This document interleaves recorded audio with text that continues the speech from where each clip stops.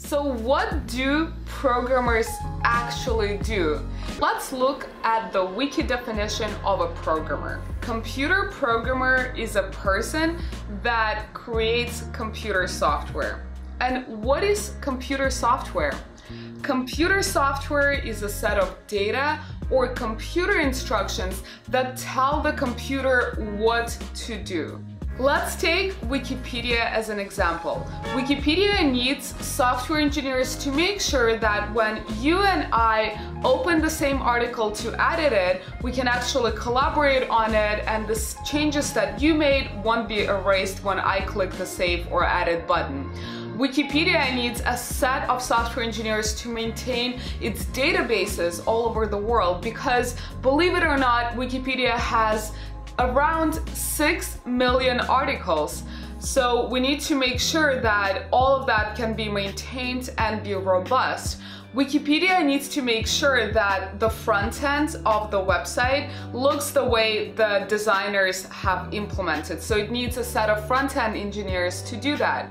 Wikipedia also needs to make sure that when you, I, millions of people around the world open millions and millions of articles, Wikipedia doesn't crash, it's fast, and it's able to maintain that huge of a load.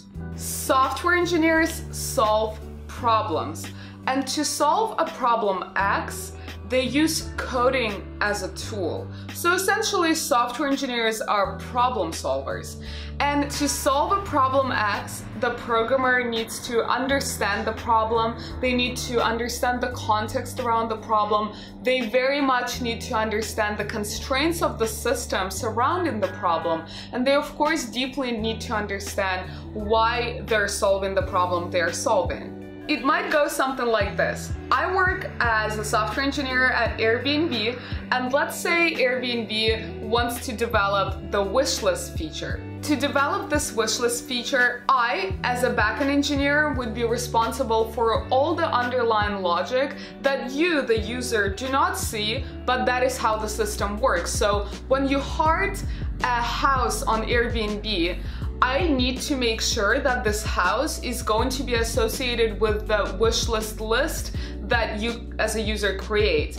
And that this list in and of itself needs to be associated with my user account and that this list is going to be saved in the database. The house will be saved in the list in the database and associated with my account.